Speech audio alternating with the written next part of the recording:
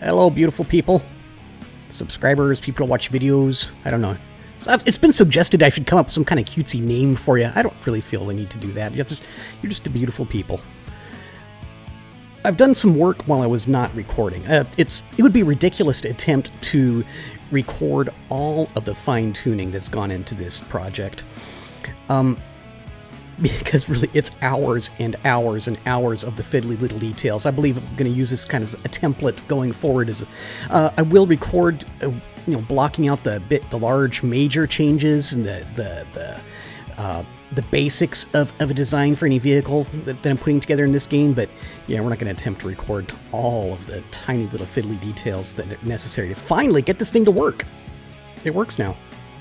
Okay, here is Grunt. This is the new Grunt. Uh, we added a couple more boosters. I redesigned the tail to give it more pitch authority. We've got uh, some of these stronger elevators back here. We've gone to the uh, the larger, stronger RCS ports. We've uh, spaced them out farther away. We've got a couple more back here. Uh, spaced RCS ports out farther away from center of gravity, give it more uh, pitch and roll and yaw authority that way. We've got, oh, wait a second, that's right, I need to remove those. I had an idea that I was going to reinforce the landing gear uh, by putting doing two of them, but actually in testing, it turns out that only one of these ever actually contacts the ground anyway. Um, so yeah, I'm still stuck waiting. Attention Kerbal Space Program modders, we need more landing gear.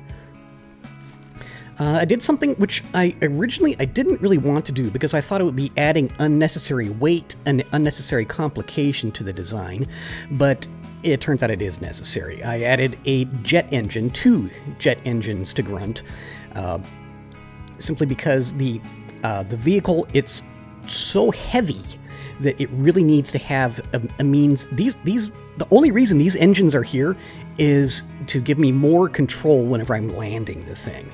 I need to be able to add power and vary the thrust in order to uh, very, very gently send Grunt down because it really likes to explode. But there it is, a cobweb of struts. These tanks right here, this is standing in, this, this tank is 20 KMUs, this is 20, and that's 5. So there, that's 45 KMUs of mass. I've stuck to the nose of this thing. So right now we're going to do a full operational test of Grunt.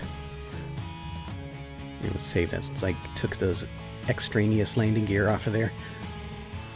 Yeah, oh yeah, also, yeah, we've got the, the larger fuel tanks and the, the larger engines, which that's the, uh, I gather some people, maybe you didn't realize that that was the whole point of designing things this way, is that I can uh, swap out, maybe I can put, you know, if I have a light payload, I can put a small fuel tank in a smaller engine, you know, heavy, a heavy payload, large fuel tank, large engine. That said, I believe that with the weight, this 45 KMUs that I've stuck on there, we're approaching the limit of what this design is going to be able to do. Start as I continue to stack on more more mass of more more fuel tanks and more engines while sticking to the design goal of not uh, not disposing any parts. I want the entire vehicle to be reusable. Okay, enough blather, enough talking. Let's fly it. Here we go. Harv Kerman. I don't know if there's any relation to Harvester Kerman of, of Squad fame, uh, but there he is. Harv Kerman, Herbert Kerman, and Sally Kerman. It's, it's interesting to me. Sometimes we have different spellings of Kerman. All right, let's retract that. Landing gear. Uh, precision control is on. SAS is on. I am. I'm. I'm excited. I'm. Ex- I've, I've already done some test flights. I'm confident that this will work. It's still, it's tricky, but yeah, let's, let's do it. There's the mains. There's the solids. And we are burning. Here the jet engines working there also. They're adding just a little bit of kind of really as far as the size of this vehicle is concerned that amount of thrust I get out of those turbines is uh, almost negligible, but you know, it's better than nothing.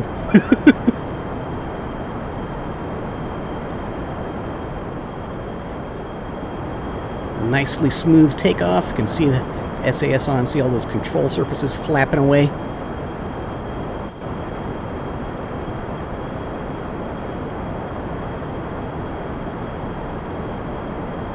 I suppose it would make more sense if I was going for maximum efficiency to redesign this thing where I would, say, dispose of these solid rocket boosters after I use them, but I just, really, I just, I don't want to.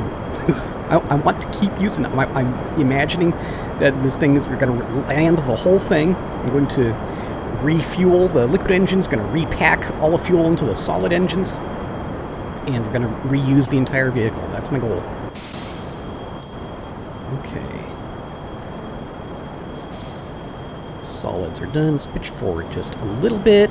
Uh, climbing high enough. Let's kill those jets, as those are no longer useful. Pitch forward a little bit more.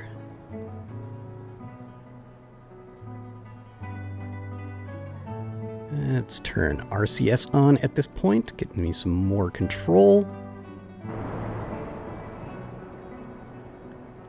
After the problems I was having with my joystick, I think maybe some of the uh, the pots in my joystick are, are falling apart or something. I need to open it up and clean it out or something. But anyway, doing with the keyboard.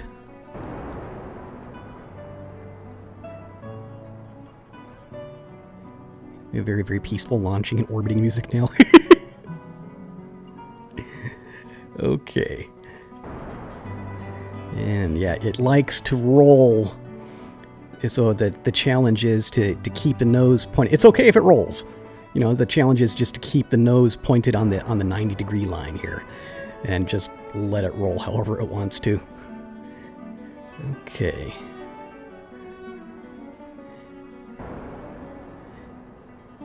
What, let's go ahead and turn SAS on right there. Let's hold about that point for right now. Yeah. Look at all those RCS jets all over the place. okay, here we go. How much fuel? Yeah, still, we've already gone through the, the upper and lower tanks, and now it's just uh, burning those the monster fuel tanks on the pylons. Yeah, this is this is working. It's going smooth. Right about here. We've already demonstrated. See, the target all along has been 70 kilometers, but even 60 kilometers is good enough. We've already demonstrated that for the purposes of launching a payload. Decoupling it from a payload, and the payload's engines will take it into orbit from there. Still, I can angle this a little bit. Let's get a little bit higher. Okay. Ooh. There we go. And we're out of fuel. Okay, Apoapsis 67 kilometers. Our projected path is slightly past this still unnamed isthmus of land where I want to, to come down. Uh, tumbling, I didn't. I wanted to have a little bit more control than that. Yeah, this fuel, those are the, the jet engines. They have their own independent fuel supply. So let's decouple. We'll just get rid of that heavy test load there. Let's thrust backwards, try and clear some with the RCS, try and clear that thing. That was one point that I actually wish that I had been recording whenever I was doing all, all the, the fine-tuning and testing is one time the, the test load actually, uh, while, while I was fighting the vehicle through re-entry, the test load came and collided with my vehicle, collided with Grunt. It was very sad. It was hilarious and sad at the same time. okay, let's get that nose pointed in the direction of travel. And let's see if we can roll around. Let's put the blue side up. Those airplanes usually work better that way.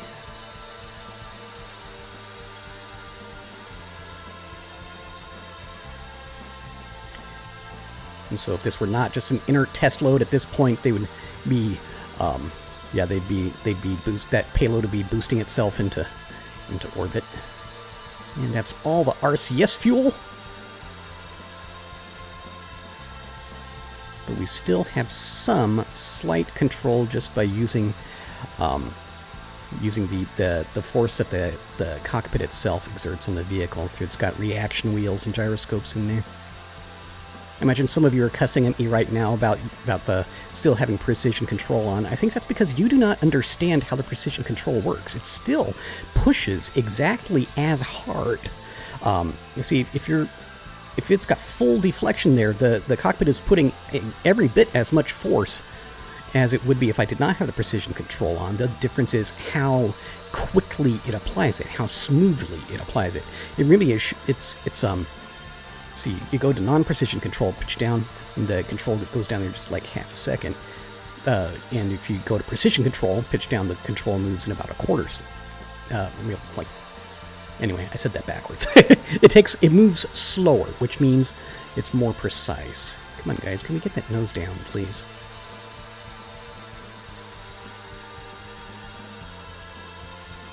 Okay, here we go. Nose is starting to pitch down. Where's that payload? Oh, it's way down there. Okay.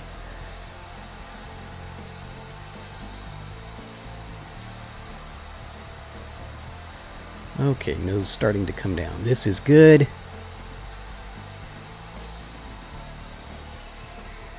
Very, very good. Makes me happy.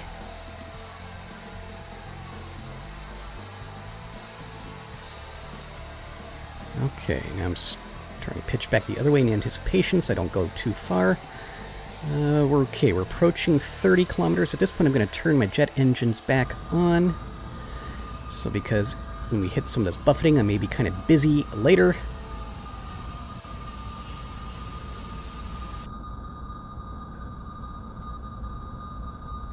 Going to go ahead and set my trim. Let's put it about a little less than a quarter way back. Some starting to hit some slight buffeting now. We're starting to catch just the very slightly thicker air.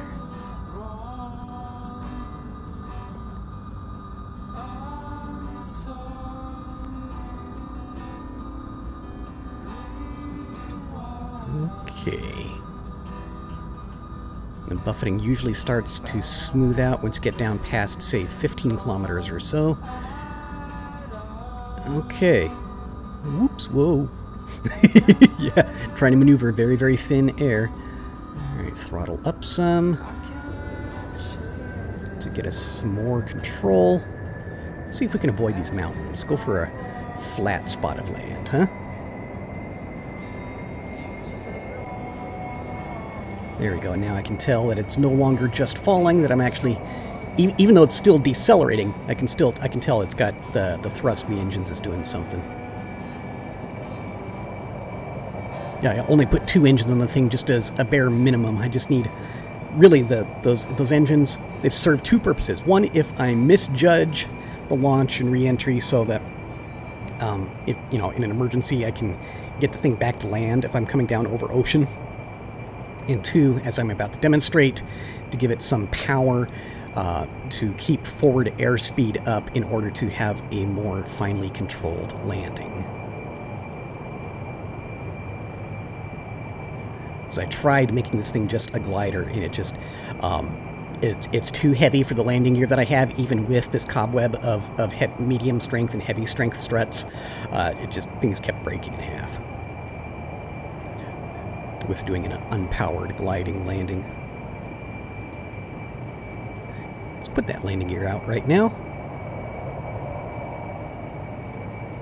I would like to have the larger, like, bogey type landing gear in order to spread some of the, the weight out over a larger area. I believe that would help a great deal.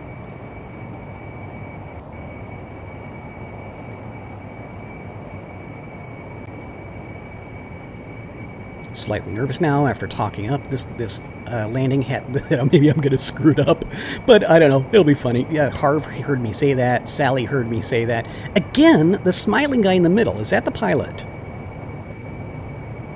Maybe maybe Herbert's the pilot. And honestly, this vehicle it does handle kind of nice at the moment. I mean, yeah, it's, it's large enough that it's sluggish. The wingspan, it gives it a great deal of adverse yaw, which I'm kind of really missing. Oh, I suppose I could still just use keyboard and rudder pedals. Hadn't thought of that. Maybe I should do that.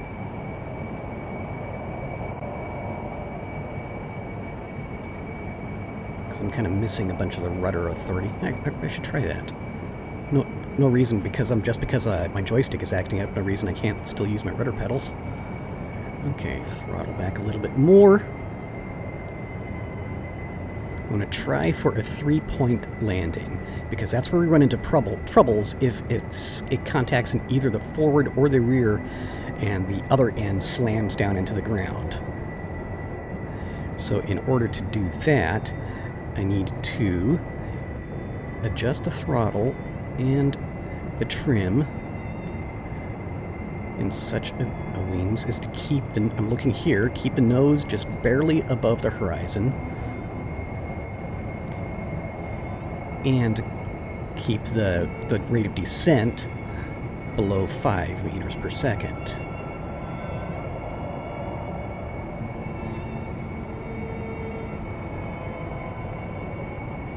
And just take the time. Not, that's the thing. I've, I've seen some other people, like some other videos of, of uh, people playing various kinds of flight sims, and um, lots of people like to try to rush the landing. Uh, and if you're, you're not landing on an aircraft carrier, there's really no reason to do that. Really, just, just take your time and set it up right. Get a little bit slow. Previous testing, the thing worked per, worked well at about 70 meters per second.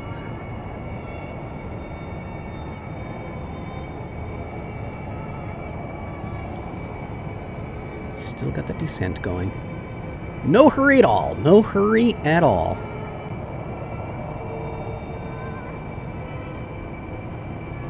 Okay, throttle back a little bit as we're losing our rate of descent. And nose is pitching up a little bit. Adjust that trim just one tiny little notch. Good, I like this. I like this rate of descent right here.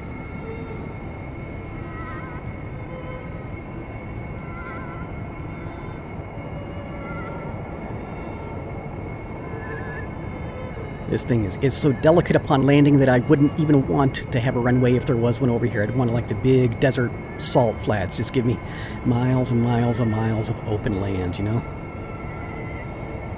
Okay.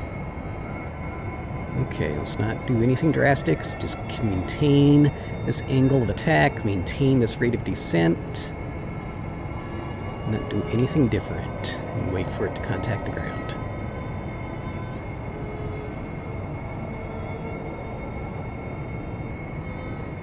Excuse me, tree. Okay, kill the engine. Kill the trim. Do not hit the brakes because it'll dig the, the wheels into the ground. I'm just going to uh, wait for it to roll for a while. It's going to slow down. Once it gets down there, say about 30 meters per second, then we'll start very, very gently hitting the brakes. I wish I had thrust reversers in the engines. That would, that would be very nice. Okay, tapping on the brakes a little bit. Getting some bumps. Okay, almost stopped. Almost, almost, almost. Stopped! Let's kill the engine. Okay. There we are. Uh, grunt. It, it lifted uh, a, mass of 45 kmus into, uh, into the ascent profile that I want. It landed safely. This is a, a functional operational vehicle. I do hereby dub the Grunt 45, as it's been tested with that particular mass.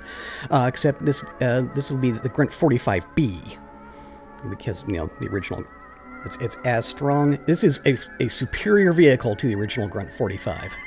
Grunt 45 Bravo. I'm happy with it. No, okay, so the next step, we're going to take Grunt 45 Bravo, and we're going to rebuild it I'm going to have to put the, the actual prospector vehicle on there. It's going to be a good time. Okay, let's get to it.